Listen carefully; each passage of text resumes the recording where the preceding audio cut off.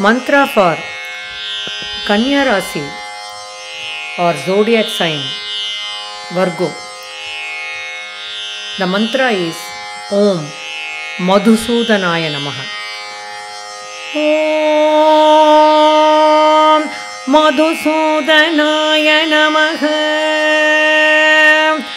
ओम मधुसूदनाय नमः ॐ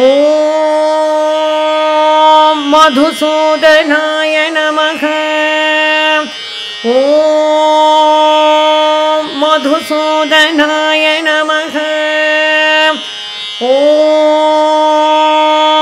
मधुसूदनाय नमः ॐ मधुसूदनाय नमः मधुसूदनाय नमः। ॐ मधुसूदनाय नमः। ॐ मधुसूदनाय नमः। ॐ मधुसूदनाय नमः। ॐ मधुसूदनाय नमः